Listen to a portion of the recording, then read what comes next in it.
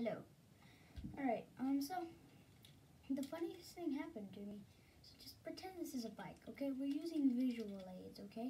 So, so, and then this is the tree. So, I was just like, ooh, and she was like, and then pretend this is me, okay? And then my hair is the neighbor's trampoline. And this, one, two, three, four, five, six, is six feet. And this is her trampoline. Boom, boom.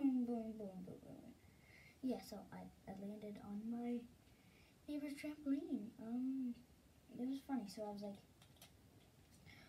la la la la la, just having a good day. Oh, here comes a dumb tree.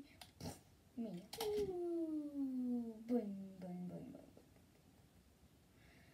And then I walked off. And then I got back on my bike, which was actually right over here. So I went. I got back on that bike. Then went.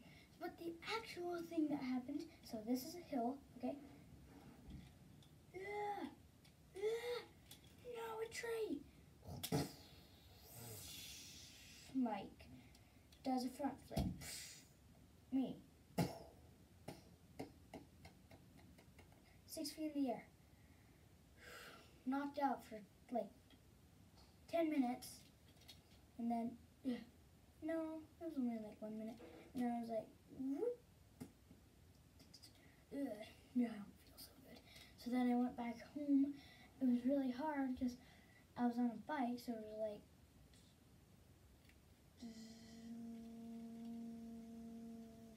up that big swervy hill. So then I just decided I'm just gonna walk, bring my bring my bike with me.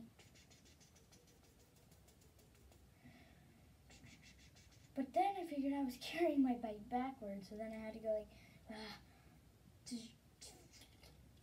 but then I accidentally put back. So I was all like, okay, here we go. Ride it, right, right, right. Ran into that tree again, and then I went, whoa. Yeah, this time I didn't go that far because it wasn't that hard. So then a lot of other stuff happened. Um.